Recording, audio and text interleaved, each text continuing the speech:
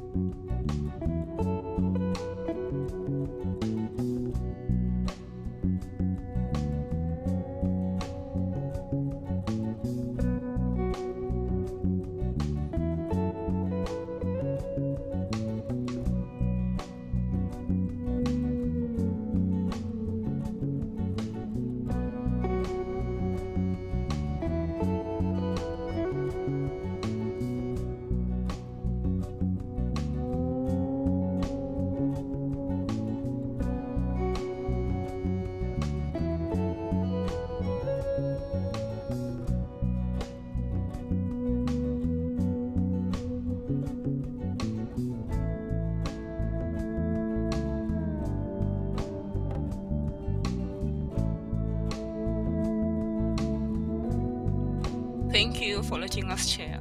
Bye.